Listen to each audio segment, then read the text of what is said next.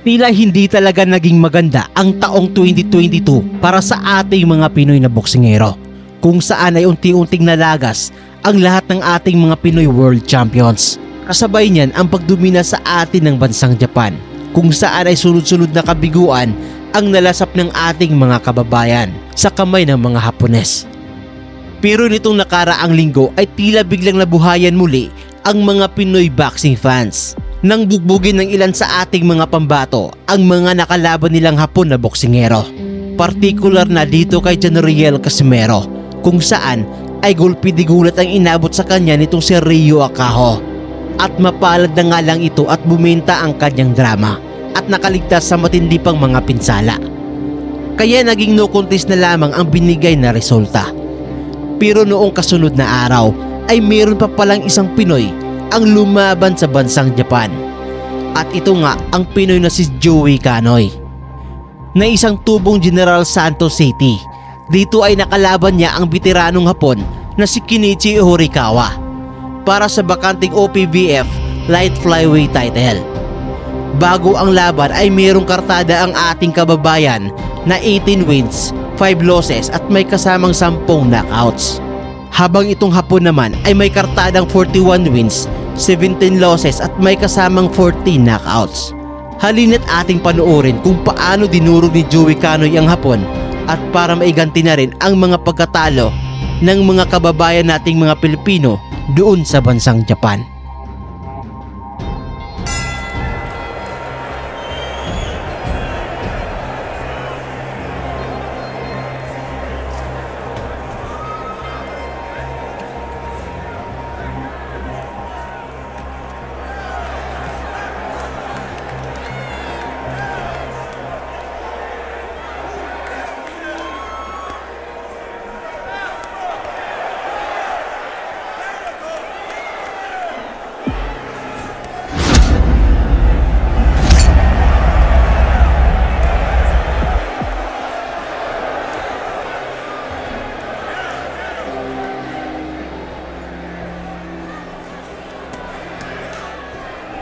Mm-hmm.